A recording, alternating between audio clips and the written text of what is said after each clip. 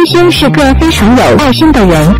小朋友在这么高的阳台上爬栏杆确实很危险，金星在楼上也不能及时下去制止，所以只能先发个微博让家长认领一下。最后金星说：“我去管个闲事了，估计是下去把孩子拽上来了。”金星是个非常有爱心的人，小朋友在这么高的阳台上爬栏杆确实很危险。金星在楼上也不能及时下去制止，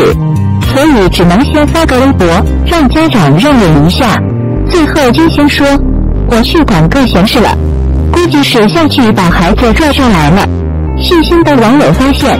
金星拍摄照片的视角是在上海最繁华的地段外滩，所以网友猜测金星的豪宅是不是就在外滩的和平饭店附近？这里的房价可不便宜。甚至有钱都买不到，